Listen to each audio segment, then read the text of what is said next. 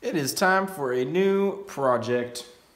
We're gonna build some slightly thinner A-arms for my sled. And we have some steel.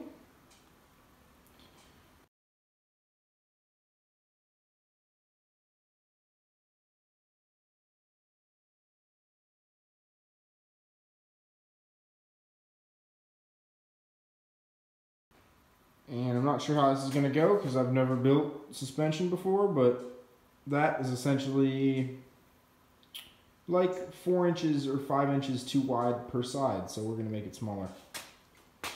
First though, geez, we need to clean this up. There we go. That's a lot better. Time to get down to business. All right. So shortening the A-arms on a Ski-Doo. This is a Rev XP 154. It's a Summit XRS 800 Rotax 800R. Um, PTEC 2010 other information. Um, that's about it. But the front suspension is all pretty standard. So this sled originally sat at 42 and we're trying to take it down to 37. That is the distance from the center line of the machine out to the pivot of the knuckle. So we, to do that, so 42 to 37, five inches total, two and a half inches per side. So what we've done is over here, we have, oh, move some things around doing these one at a time. So we're doing the upper arms first. Laying them out on a table. First marking which one is which. Laying them out on a table. This is the right one, this is the left one. And making, like getting the points that count. So we want this to be square here. And then we want to know, this I happen to know is 11 degrees offset. So 11 degrees.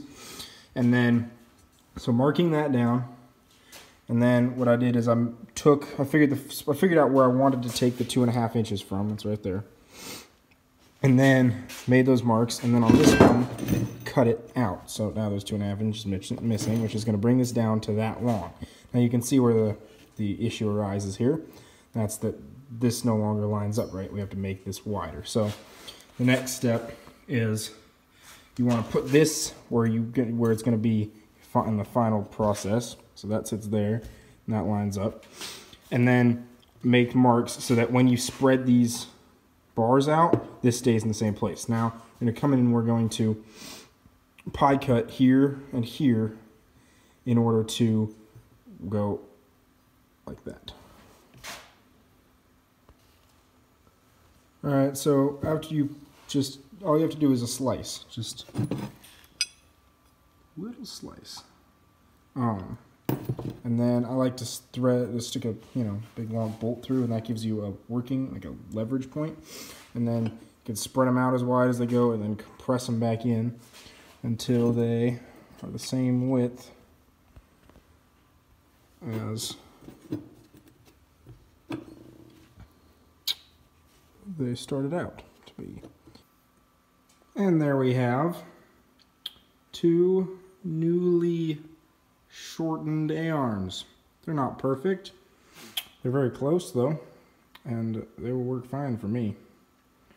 On to the lowers. Alright, so for the lower A-arms, the process is a little more complex. Because we're going to be cutting out a section from each arm, we need to find a way to affix these two points together so that when we cut them off, they stay the same. Think about that, right? If we cut them, it would be very hard to get them to go, like, make sure we get them back in a way that fits on the sled. So the first thing we're going to do for these on each one is we're going to come out three inches and then we're going to put a tube across there that will brace. All right, so we've got two of these cross pieces. They're going to fit right up in there. And I have them generally to size, but we're going to put these A-arms back onto the sled and then weld them with them on the sled. So just to make sure that we don't get any sizing issues. All right, so just temporarily put the A-arm back in, ran a couple bolts through, and now just set this in place and then tack it, pull it off, finish weld it, do the other side. All right, after you got those tacked up, go ahead and finish weld them. And then we're gonna move on to making the cuts. So similar to the upper A arms, only sort of backwards, I've made an outline of this one on the table that I also cut off the sway bar mounts um, on both of them because those won't be included in this final product. Um, this lines up in such a fashion like that. Nope, not like that. I lied. Like that. Now, I also sort of guessed the middle on here and the middle here, which sort of creates a line from this hub through like that. Pretty much a straight line.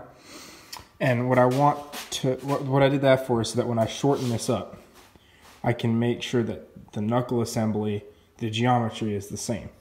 It'll be on this line from the middle of here to the middle, at any point between these two bars. It's right in the middle. So that is the next step. All right, there is one completed lower arm. When you set it up on here, just somewhat difficult to do one-handed. See how that line ends up right in the middle of that joint? It's well executed right there. Again, same as before, we're gonna set up the whole suspension in its tack welded state. Um, just to make sure that, you know, everything fits. And that way, you know, we know that, then we can take it all off again and weld everything up do that second one, and then we'll get to that part. And there we have two completed lower A-arms. Um, tack welded, of course. I did just fit one of them on the sled, and they're, they're almost exact. Like, these are better than the uppers, honestly. I did a good job on these. So, um, I know the side, like the, I know the right side is going to fit. So, I'm just going to go ahead and finish weld them. And then, from there, we're going to clean them up, prep them for painting, and then also tackle the tie rod for the steering, which has to also be shrunk two and a half inches. And there we have our completed A-arm set. Doing a quick bang up paint job on them. Nothing fancy, just two sides, some Rust-Oleum. I'm not concerned. Uh, hit them with a grinder beforehand, or with a big buffing wheel get them clean. And so we'll do this side, then we'll flip them over to the other side. And then other than that, the last thing we have to do is figure out the tie rods. All right, well, I caught a really sweet break with the tie rods. Um, turns out I have the right size tap. So pretty much what I did is I took the tie rod off. One end screws like a standard thread and one, one end screws a reverse thread. I cut the I cut two and a half inches off the end that screws standard thread and I'm just gonna retap it and then grind some little spots. You can turn it with a wrench to uh, just to adjust it, but it'll essentially look the same as it did before. I just chopped off two and a half inches. Do that on both sides. All right, there it is. Finished product. Paint's still a little wet, but I just threw them on. tacky would be a better word, but threw them on there. Got the alignment set up. And I'm gonna show you guys in a minute how much easier this sled is to rock back and forth. Um, you can see what's happening. But, yep. So get this guy stood up, we can do a little demonstration. Alright, so before I was not able